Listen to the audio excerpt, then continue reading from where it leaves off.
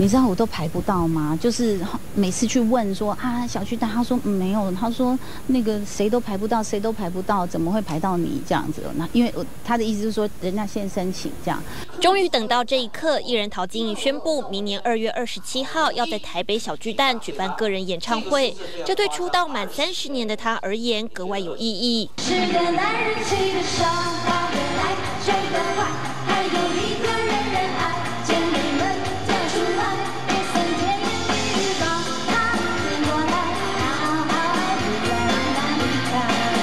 两年前，陶晶莹在台北国际会议中心举办第一场大型售票演唱会，当时的她就许下了唱进小巨蛋的心愿。不过，能不能保持两年前门票秒杀的记录，陶晶莹坦言压力有点大。我觉得不敢想，是因为呃 T I C C 毕竟才是两场加起来也才是小巨蛋的一半嘛，所以有可能就是说，哎，秒杀一半，嗯。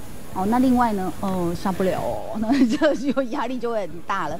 许多观众想到陶晶莹都是浮现专业的主持人形象，高水准的台风和场控能力一直以来都有目共睹。身兼作家、广播 DJ 等多重身份，被封为斜杠先驱。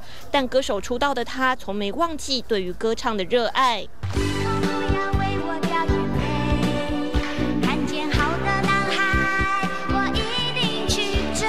这首《天空不要为我掉眼泪》当年红遍大街小巷，即将在舞台上和大家见面，陶晶莹非常兴奋，加紧准备要将最精彩的表演带给长久以来支持她的歌迷。